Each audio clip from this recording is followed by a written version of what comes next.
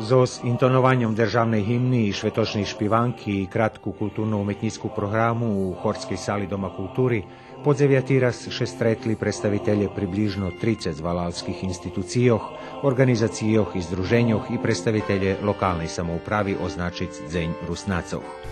Mi znamo da bez podrške lokalne zajednice, pogotovo i šire društvene zajednice, nacionalnih zajednica ne bi bilo.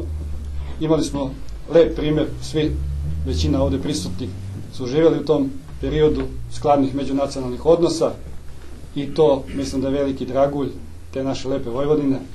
U našim najstaršim i mjesece s najvekšim čislom rusnaca perširasto to šveto označene posle centralne i švetočnosti. Opeširasto rokovi padlo tak, e, z ohljadom že Kerestur mal isto jednu obavjasku u organizaciji nacionalnog šveta toho roku, ktoré bolo u Kuli, sobotu, 16. i pre drugih obavjazkih institucijah, ustanova, ktorí tiež boli vjazani za preslavu, Iz tej nahody kratko rekapitulovani dosjahy našej zajednice, ali bešedovane i o prioritetnih aktivnostoch u roku, ktorý práve počal, u ktorých na každým kročaju obecana pomoc lokalnej samoupravi, odnosno opštini Kula.